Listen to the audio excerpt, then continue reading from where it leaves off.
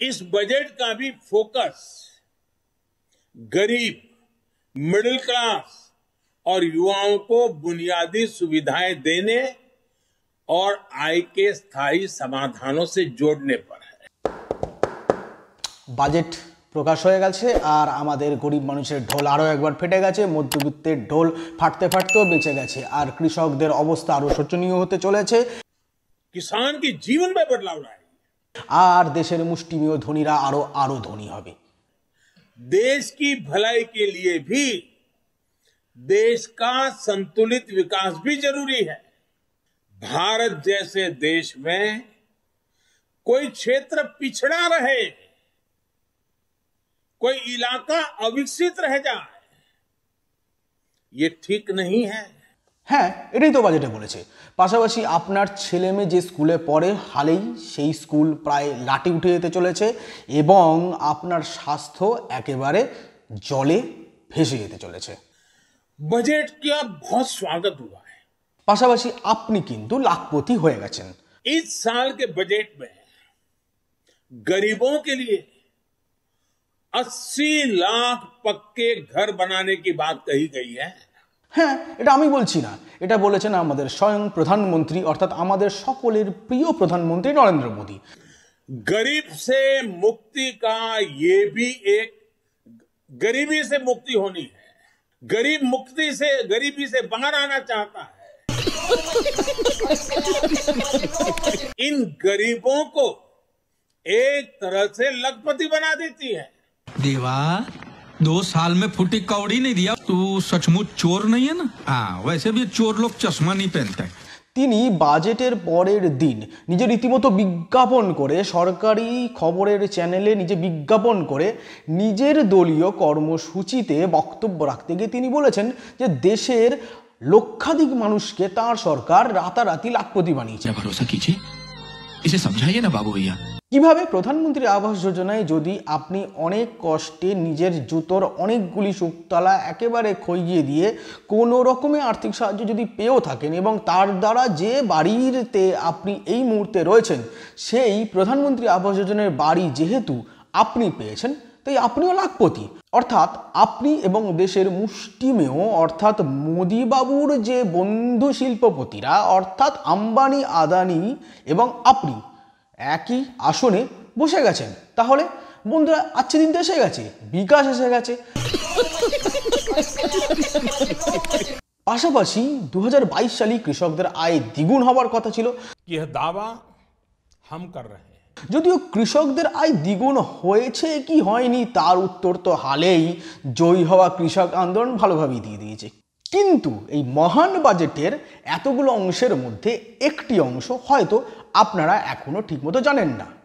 সবকা সাথ সবকা বিকাশ তা হচ্ছে আপনি জানেন যে মোদী সরকার বাংলাদেশের অনুপ্রবেশ নিয়ে এত চিন্তিত এবং রাউন্ড ফিগারে বলে দিতে পেরেছে যে বাংলাদেশ থেকে মোট কতজন অনুপ্রবেশকারী ভারতে এসেছে সেই বাংলাদেশ এবং যে মোদী সরকার আফগানিস্তানে তালিবান আরও একবার ফিরে আসার পর অত্যন্ত চিন্তিত হয়ে উঠেছিল সেই মোদী সরকারই আফগানিস্তান। ভাবছেন, আমি হঠাৎ কেন বাংলাদেশ এবং আফগানিস্তানের কথা বাজেটের প্রসঙ্গে তুলছি?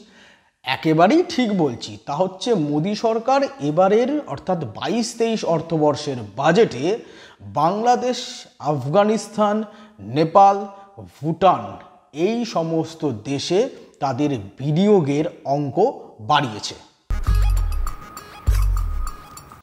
হিসাবটা যা তা আপনি শুনলে অবাক হবেন।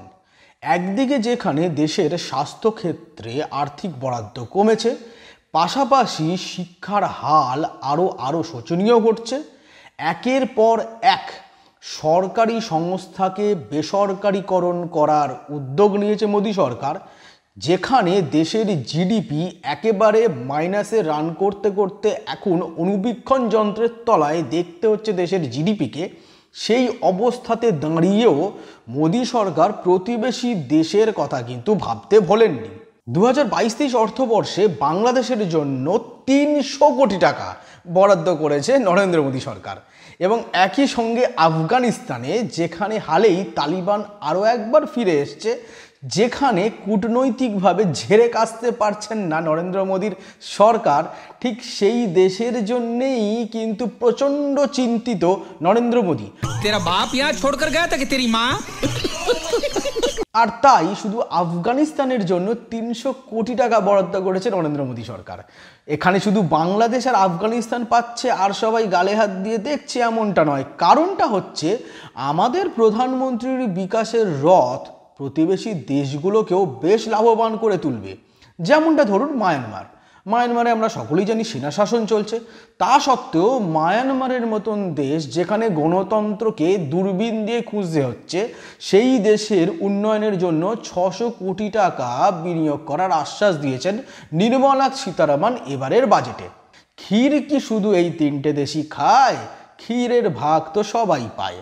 আর তাই নেপাল এবং ভুটানও একই সঙ্গে ক্ষীরের ভাগ পেয়েছে। আর এই ক্ষীরের ভাগ সবচেয়ে বেশি পেয়েছে আমাদের প্রতিবেশী দেশ ভুটান। ভুটান দু হাজার কোটি টাকা বিনিয়োগের আশ্বাস পেয়েছে এবারের বাজেটে। শুধু ভুটান নয়, নেপালও পেয়েছে বেশ বড় অঙ্কের একটি অর্থ বরাদ্দের আশ্বাস। তা হচ্ছে নশো কোটি টাকা। শুধুমাত্র নেপাল, ভুটান, বাংলাদেশ, আফগানিস্তান নয় দ্বীপরাষ্ট্র মরিশাসও কিন্তু নশো কোটি টাকা অর্থ বরাদ্দের আশ্বাস পেয়েছে পাশাপাশি দক্ষিণ আফ্রিকায়। ভাবুন একবার ভেবে দেখুন, বর্তমান যেখানে দেশের কৃষকেরা না খেতে পেয়ে মরছে, শিক্ষা ব্যবস্থা প্রায় লাটে উঠেছে, স্বাস্থ্যের পরিষেবা তো ছেড়েই দিন কোভিডের দ্বিতীয় ঢেউয়ে দেখা গেছে কীভাবে বিনা অক্সিজেনে মানুষ রাস্তায় পড়ে মারা গেছে। আর এই পরিস্থিতিতে দাঁড়িয়ে নরেন্দ্র মোদী সরকার দক্ষিণ আফ্রিকায় দূতাবাস তৈরি করার উদ্যোগ নিচ্ছেন। একবার ভাবুন দেশের আর্থিক অবস্থার যেখানে এই হাল সেখানে দাঁড়িয়ে বাংলাদেশ, আফগানিস্তান, নেপাল, ভুটান, মরিশাসে যেভাবে অর্থ বরাদ্দ করা হয়েছে, তা কিন্তু বেশ চিন্তার কারণ বলেই মনে হয় আমার। যারা দেশের আর্থিক মন্দা নিয়ে খুব চিন্তিত, রাত দিন এক করে দিচ্ছেন, তারা কেউ কিন্তু এবারের বাজেটে বাংলাদেশ, আফগানিস্তান, নেপাল, ভুটানের প্রসঙ্গে কথাই বলেননি। একটা প্রশ্ন যদি বাংলাদেশের অনুপ্রবেশ এতই সমস্যা, আর যদি ওই ক্রোনোলজি আপনি ক্রোনোলজিটা বুঝে নিয়েছেন তো? হ্যাঁ ক্রোনোলজিটা ভালো করে যেহেতু আমরা গত দু বছর ধরে বোঝার চেষ্টা করছি, আর তার জন্যেই যেহেতু এনআরসি খুব দরকার, সিএ খুব দরকার, তাহলে কেন? বাংলাদেশে তো বিনিয়োগ করা হচ্ছে। আর যদি আফগানিস্তানের তালিবান শাসন খুব একটা পছন্দ না হয়ে থাকে মোদী সরকারের, তাহলে কেন মোদী সরকার আফগানিস্তানে এত বিনিয়োগ করছে? আবার নেপাল যেহেতু বর্তমানে চীন দ্বারা ইনফ্লুয়েসড হচ্ছে বলে বারে বারেই অভিযোগ করেছে মোদী সরকারের বিভিন্ন নেতা নেত্রীরা তাহলে মোদী সরকার কেন নেপালে এত বিনিয়োগ করল? একইভাবে নেপালেরই মতন চীন ইনফ্লুয়েন্সের অভিযোগ তুলেছে মোদী সরকার। তাহলে সেই ভুটানে কেন এত বিনিয়োগ করল? আর যাই হোক, আপনারা সবাই ভালো থাকুন। আর এই বাজেটটা তো এত ভালো হয়েছে যে আগামী দিনে কিন্তু আপনার পকেট খলখলে হতে চলেছে। আর শুধু আপনার পকেট না, আর যা অবস্থা। আর ও, মোবাইলের দাম কমেছে।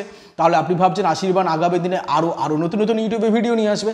কিন্তু একটা বিষয় ইন্টারনেটের যেভাবে দাম বাড়ছে না, এই আমাদের মতন গরিব বুড়বো ইউটিউবাররা আর বেশি দিন করে ফরে খেতে পারবে না। আর চাকরির অবস্থা তো জানেন, কারণটা হচ্ছে আমরা সকলেই এখন রয়েছি আচ্ছে দিনে।